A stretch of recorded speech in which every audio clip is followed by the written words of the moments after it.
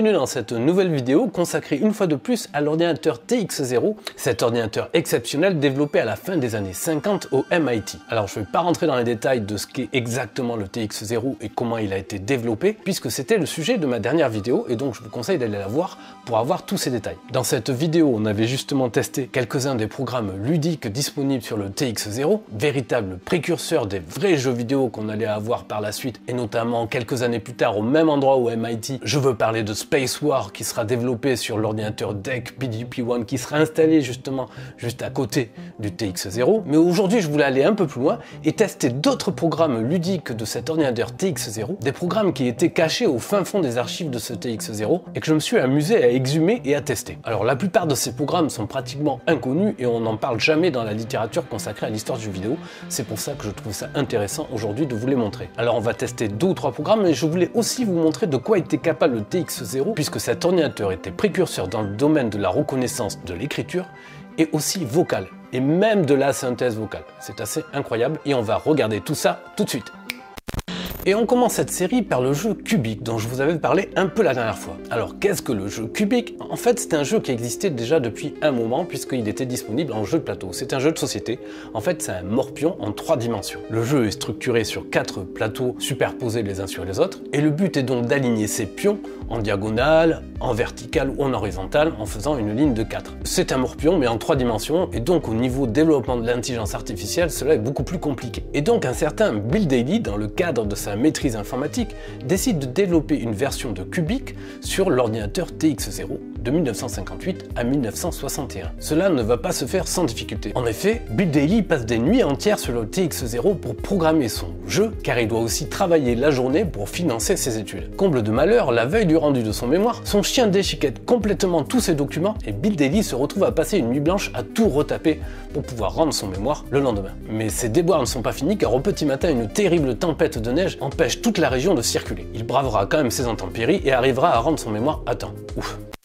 Alors la version qui nous avait été parvenue jusqu'à maintenant était une version assez simple, c'est-à-dire bizarrement une version qui n'utilisait pas l'écran du TX0, mais seulement le FlexoWriter. Qu'est-ce que le FlexoWriter C'est une sorte de machine à écrire connectée à l'ordinateur et qui permettait de rentrer certaines informations comme un clavier classique d'ordinateur tel qu'on le connaît aujourd'hui, mais aussi de recevoir les informations venant de l'ordinateur comme une imprimante. Avant l'avènement des écrans et le TX0 en est un des premiers exemples, le FlexoWriter était le moyen principal de dialoguer avec l'ordinateur. Et donc cette première version de Cubic par BitDaily ne fonctionne que via le FlexoWriter. Et donc l'ordinateur vous signale au fur et à mesure du jeu quel coup il va jouer en vous signalant le numéro de la case correspondante. Le joueur à son tour doit rentrer le numéro de la case qu'il veut jouer et ainsi de suite jusqu'à que la partie se termine. Mais en fouillant dans les archives numériques du TX0 et en bidouillant un peu, je suis arrivé à lancer une version qui propose un affichage du jeu à l'écran. On est donc en présence une nouvelle fois d'un exemple très précoce de jeu vidéo pratiquement inconnu jusqu'à maintenant. Et voilà, on se trouve en présence de cette fameuse version euh, graphique de Cubic. Alors je vous préviens tout de suite, l'état d'avancement des émulateurs du TX0 ne permettent pas de jouer complètement à cette version, mais je vais quand même essayer d'aller le plus loin possible pour vous montrer à quoi ça ressemble. Donc quand on démarre le jeu, l'ordinateur nous demande d'abord notre numéro d'identification. Je ne sais pas exactement à quoi cela correspond, mais je pense que le programme était sans doute prévu pour reconnaître quel joueur était en train de jouer. Alors comme nous sommes un nouveau joueur, nous allons rentrer le numéro 0. Alors vous voyez que comme dans les premières vidéos, ce qui est quand même assez hallucinant, c'est d'être en présence là des premières formes d'interaction graphique, avec des points qui correspondent au non ou au oui. Est-ce que ce numéro est OK pour nous Oui. Le rating, là normalement c'est censé être le niveau de réflexion de l'ordinateur, le niveau de difficulté. On va rentrer 44. Maintenant, l'ordinateur nous demande qui doit jouer en premier, la machine ou le joueur. Avec le FlexoWriter, on appuie sur la touche M pour signaler qu'on veut que ce soit la machine qui commence à jouer. Et là, devant nos yeux ébahis, apparaît une des quatre grilles du cubique. Je ne sais pas si on va réussir à aller plus loin, le programme va sans doute planter, mais c'est déjà assez exceptionnel puisque nous avons devant les yeux un affichage donc de cubique sur l'écran du TX0, chose qui n'était évoquée sur aucun site internet ou dans aucun livre. On retrouve le concept des points où avec le stylo optique, c'est vrai que j'en ai pas parlé dans cette nouvelle vidéo, mais le curseur ici représente en fait le stylo optique qui était utilisé avec le TX0, ce qui permettait d'appuyer avec le stylo optique sur les différents points qui sont proposés à l'écran. Bien, avant que tout ne plante, on va essayer de cliquer sur un point correspondant à une case. Il veut sans doute là qu'on valide ce coup, on va cliquer sur le bouton en haut à droite.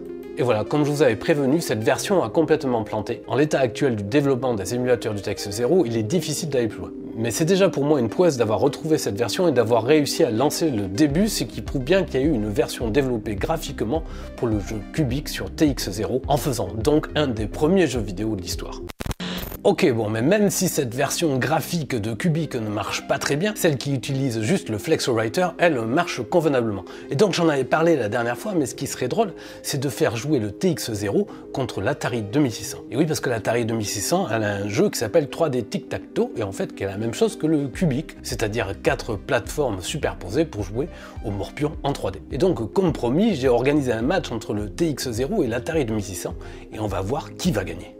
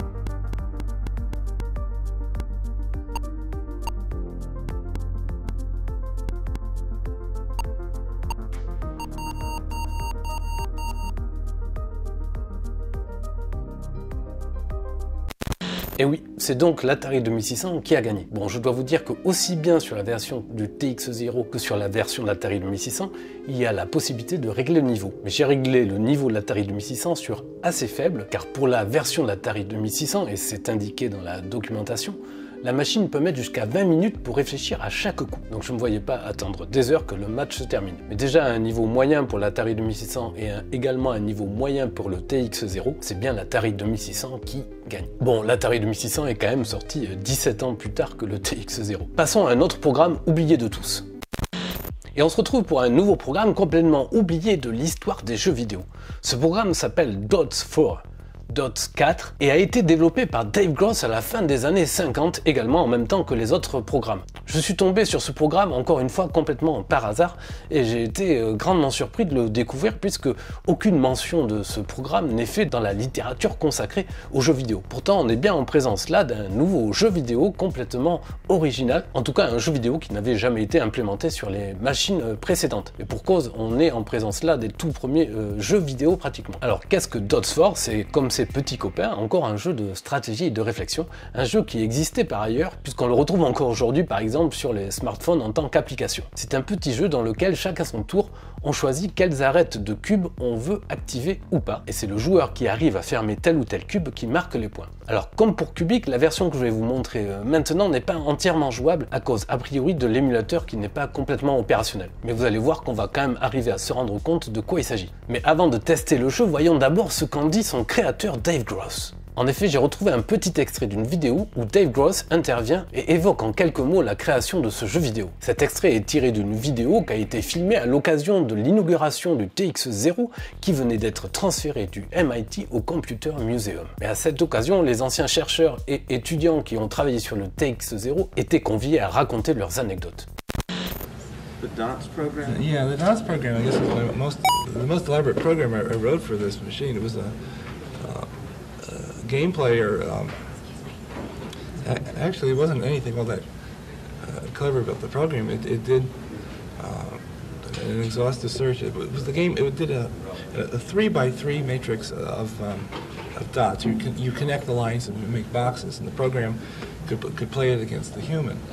Um, you, you, you selected your moves with the light pen, and one of the interesting options was it could display the the instantaneous uh, state of the search on the screen by showing how the lines putting in and taking out up and down the tree.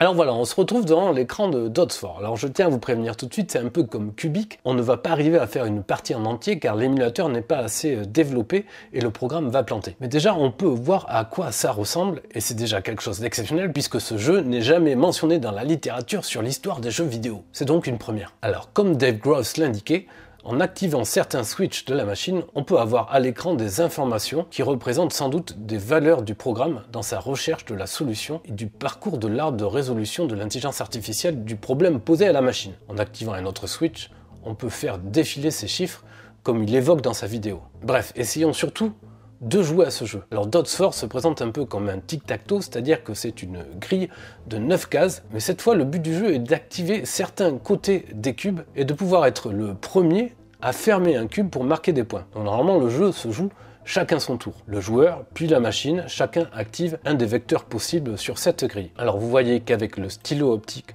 je peux activer n'importe quel côté de mon choix. Et a priori, quand j'ai choisi un côté, par exemple celui-là, je pense qu'il faut appuyer sur le P comme player pour valider son coup. Mais bizarrement, sur cette version auquel nous avons accès, une fois qu'on a appuyé sur P, le trait ne reste pas tout le temps affiché, il semble qu'on puisse continuer à choisir un autre côté. Mais c'est là où je ne comprends plus euh, trop rien. Alors choisissons un autre côté et réappuyons sur P. Et cette fois, à l'intérieur du carré apparaît un P. Alors je pense que la difficulté là, c'est que normalement dans les versions modernes du jeu, suivant si c'est tel ou tel joueur, on a une couleur différente du trait qui apparaît. Là, ce n'était pas possible sur le TX0, donc je pense que quand un trait appartient au joueur, il y a un P qui apparaît dans le carré, et quand on appuie sur un autre trait, qui est libre, il n'apparaît pas.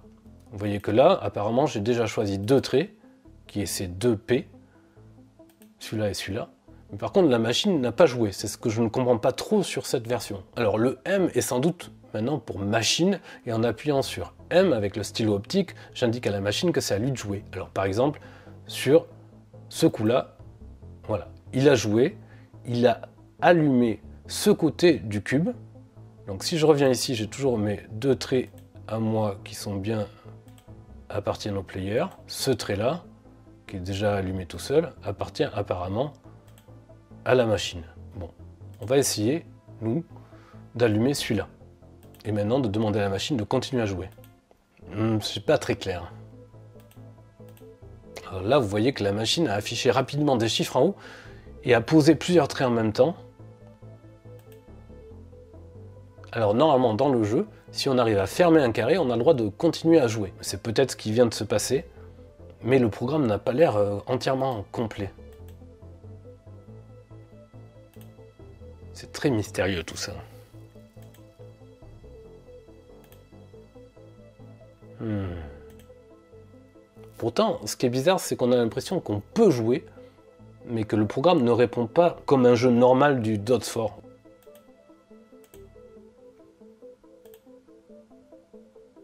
Voilà. Apparemment, euh, la machine a gagné, ou le player, je ne sais pas trop en fait ce qui se passe. Mais enfin, c'était pour montrer que ce jeu existe bel et bien, qu'il était inconnu et qu'on peut commencer à le faire tourner et qu'il mérite sa place dans l'histoire du jeu vidéo.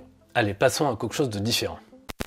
Bien, maintenant, je vais vous montrer quelque chose de complètement différent. En effet, le TX0, quand il était installé au MIT, a été utilisé par de nombreux étudiants et de nombreux chercheurs pour faire avancer la recherche dans la reconnaissance de l'écriture et la reconnaissance vocale ainsi que la synthèse vocale assez incroyable quand on pense que c'est la fin des années 50, début des années 60. Et donc je vais vous montrer tout de suite un extrait de The Thinking Machine, qui est un documentaire réalisé en 1961 par CBS au MIT et qui fait la part belle au TX0. Dans cet extrait, on va voir des chercheurs en train de dessiner sur l'écran du TX0 via le stylo optique des formes afin que le TX0 apprenne à reconnaître les formes qui sont dessinées à la main. On est vraiment dans les débuts de la recherche de la reconnaissance de l'écriture. Vous allez voir cet extrait est assez impressionnant et faites bien attention au son généré par la machine.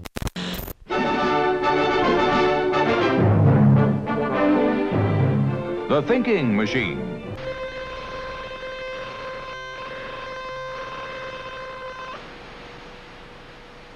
Now let's see if the computer has as much trouble with the alphabet.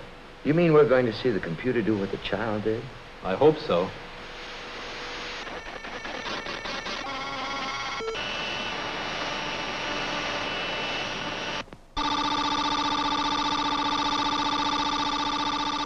Now, does that really prove that machines can learn? I'll tell you what it does. It compares the letter you write with the letter you first showed it. And as it gets more and more information about what is called a W, for example, it is more and more able, better able to make a judgment about whether the letter that's being written on the screen is in fact a W or not. Let's see. Okay, Larry, let's read in the program again. Well, at least I know what a program is. A program's the rules you want the computer to follow. Now what are they doing? Uh, showing the computer the alphabet for the first time? Yes, in just the same way the teacher did with a child. Incidentally, for convenience, you see, we're using P's and W's too. Okay, now we have those characters in the machine. We'll try some uh, tests with them. The W.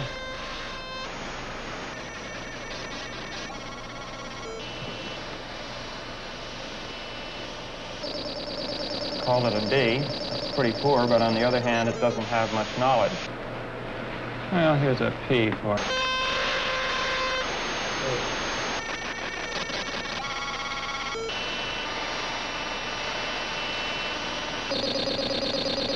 Try another P.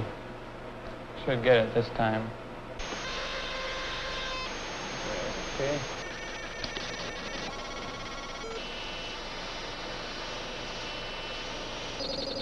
Wow. Well, now that's luck. That- That's Yeah, pure luck. No, as a matter of fact, one thing the computer can't do is fool the teacher. On the next try, look at the line below the letter.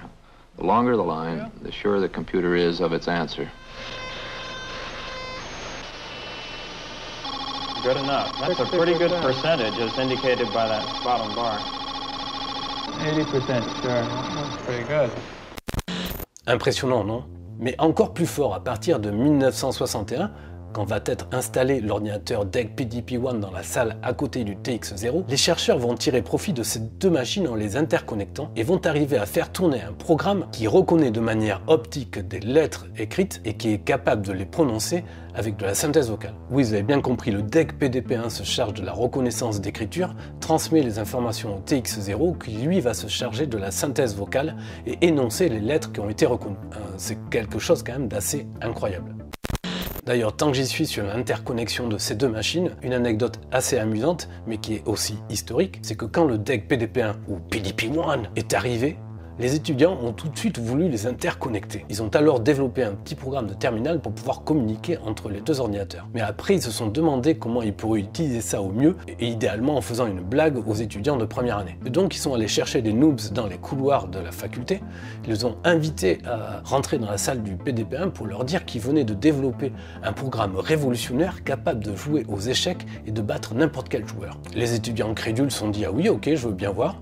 Ils rentraient dans la salle avec un qui était disposé à côté du deck PDP-1 et ils commençaient à jouer contre l'ordinateur. Pour jouer il fallait rentrer les coordonnées des cases de l'échiquier qui étaient en fait transmis à un autre joueur qui était dans la salle à côté avec le TX0 et qui lui aussi avait son échiquier. En fait des étudiants croyaient jouer contre l'ordinateur et jouer contre une autre personne qui était dans la salle à côté. Cela a fait son effet car à l'époque un jeu d'échecs sur ordinateur était totalement incapable de jouer une partie de A à Z contre un joueur un peu expérimenté. Jusqu'à un moment où il y a eu une sorte de quiproquo sur un des coups et en fait les deux joueurs interposés ont commencé à argumenter via le terminal et l'étudiant de première année qui était au PDP1 s'est demandé comment l'autre ordinateur pouvait discuter avec lui et argumenter sur la validité de ce coup ou non. Et c'est là qu'il a repéré un câble qui partait au sol et qui allait jusqu'au TX0 dans la salle à côté, moment à partir duquel la supercherie a été dévoilée. Bien, on va passer à une dernière expérimentation tout à fait originale que je voulais vous montrer, également faite sur le TX0.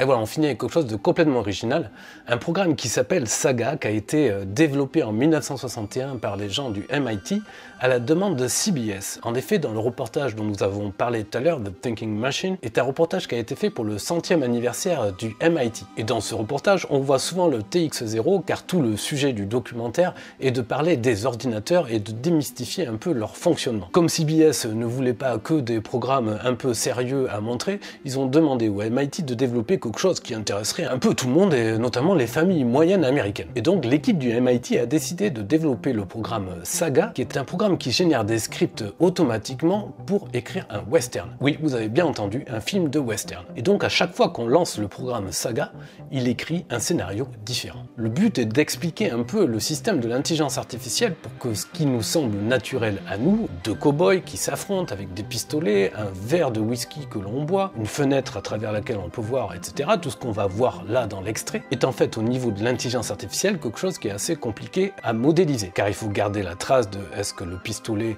est dans le holster, est-ce qu'il est sorti, est-ce que le verre est sur la table, combien de fois le, le shérif ou le voleur a bu, est-ce qu'il a bu trop, est-ce que du coup son comportement est altéré par le fait qu'il a trop bu, qui tire et qui est touché, est-ce que l'or a été pris, enfin bref, tous ces paramètres sont rentrés dans l'ordinateur mélangés au hasard et génèrent des scripts différents à chaque fois. Oui, c'est complètement original et regardons ce que donne le premier script.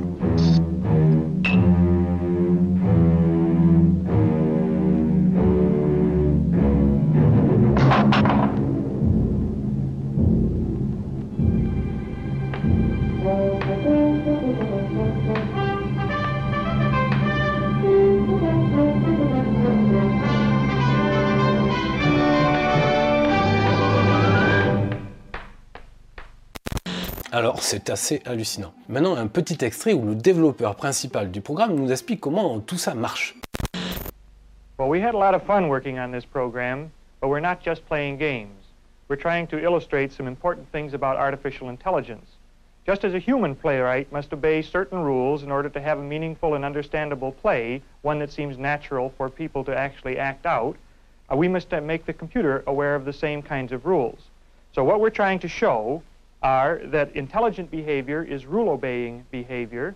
We're trying to show what these rules look like, and we're trying to show how a computer can be made to do creative work.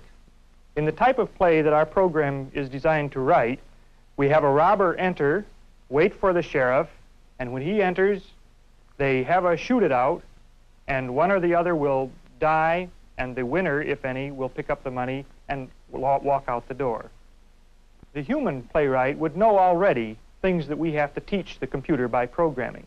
For instance, if the gun is in the hand and the hand is on the robber and the robber is in the corner, the human knows immediately that the gun is also in the corner. But we must make the computer able to keep track of all these things. This switch shows how the computer will choose reasonable alternatives for the sheriff. Depending upon whether or not the sheriff can see the robber and the robber sees the sheriff, the sheriff may wait, advance on the robber to get a better shot, or try immediately to shoot the robber. We have given the computer rules for determining reasonable behavior, and we have also given the computer rules for modifying those rules.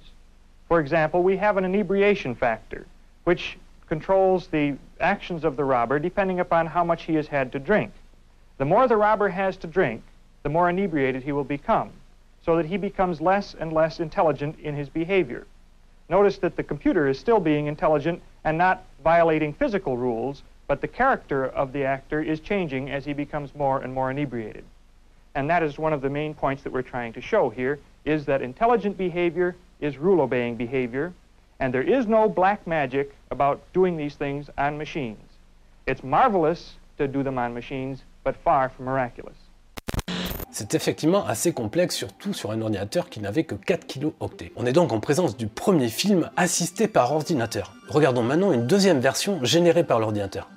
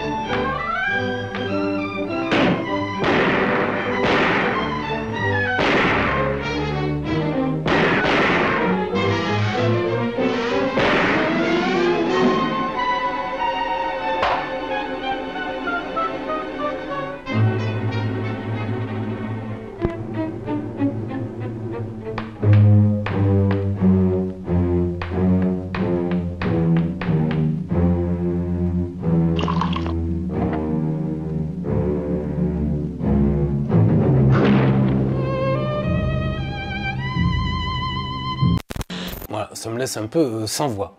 Mais CBS voulait encore quelque chose de plus croustillant. Et comme ils ont assisté à quelques moments du développement, et particulièrement à un moment donné où le programme a planté, cela les a intéressés particulièrement. Et même si les bugs ont été corrigés après dans le programme, CBS a voulu absolument illustrer ce moment via une autre version du western. Et c'est ce qu'on va voir maintenant. Prêtez bien attention car ça devient n'importe quoi.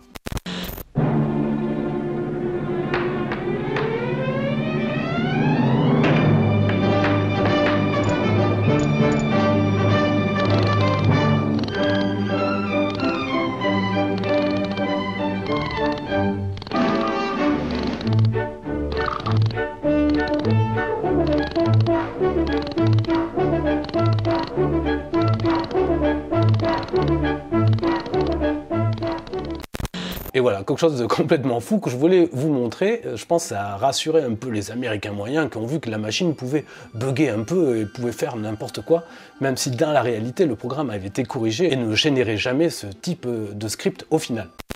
Et voilà, je crois qu'on a fait le tour grâce à ces deux vidéos de tous les programmes disponibles sur le TX0, en tout cas les programmes ludiques et les expérimentations un peu loufoques réalisées à la fin des années 50, début des années 60 sur cet ordinateur hors norme, le TX0, développé au MIT. J'espère que cela vous a aidé à comprendre et à situer cette période si particulière pour le développement de l'informatique et en particulier pour le développement des premiers jeux vidéo. Moi ça m'a passionné et j'espère qu'on se retrouve très vite pour une prochaine vidéo consacrée à l'histoire des jeux vidéo. En attendant, je vous souhaite de faire des beaux rêves dans le monde merveilleux des pixels qui tâchent. Ciao